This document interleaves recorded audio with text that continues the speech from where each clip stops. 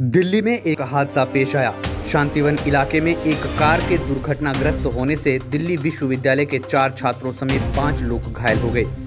घायलों को अस्पताल में भर्ती कराया गया है। बताया जा रहा है कि वे गुरुग्राम से जन्मदिन मनाकर लौट रहे थे। जानकारी के अनुसार शुरुआती जाँच में पता चला है कि ड्राइवर ने अपने मोबाइल फ़ोन पर गाना बदलने की कोशिश की और ऐसा करते हुए उसने गाड़ी पर से नियंत्रण खो दिया। कार साइड रेलिंग से टकरा गई, जिससे कार के परखच्चे उड़ गए। और कार बुरी तरह से क्षतिग्रस्त हो गई। वहीं पुलिस द्वारा आगामी कार्रवाई अमल में लाई जा रही है। ताज़ा अपडेट्स और बड़ी खबरों के लिए सब्सक्राइब करें आज प्रकाश टीवी और बेल आइकन दबाना न भूलें।